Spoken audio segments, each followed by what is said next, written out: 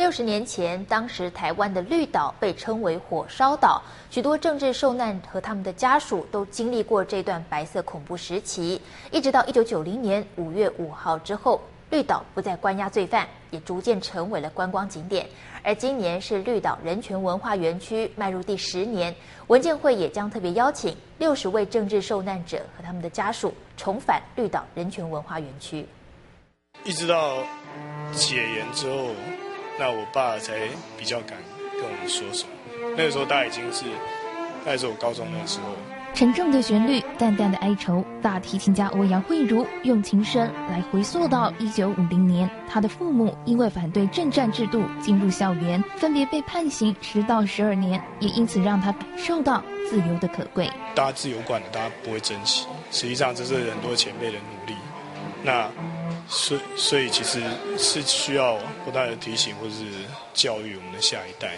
这个如果没有去做，其实到最后就没了，没有这段历史。铁炮牌，铁炮牌，铁炮牌。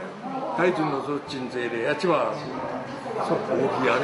曾经在绿岛服刑十二年的画家欧阳文，透过他的双眼描绘出昔日的火烧岛。如今都零八十八岁的他，对那些日子还有哪些印象？印象深现在，无咧，差不多底下拢拢烧香嘛，底下去去用去用关的时候，心情真歹咧，底下关十多年，这这心情真歹，无感觉什么。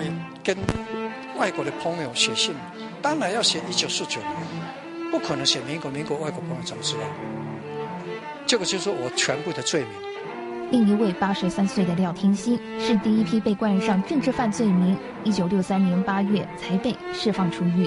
我说：“不是啊，我们是同学而已，学校的同学啊，我们是同事而已，我们做生意的关系而已，就这样交换名片，你就就这样就逮捕我们。”看着六十年前的照片，回忆起当时政治受难的朋友，一起经历过这段白色恐怖时期，直到一九九零年五月五日后。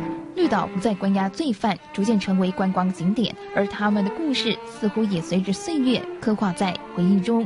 新唐人亚的电视曾一豪、李晶晶台的报道。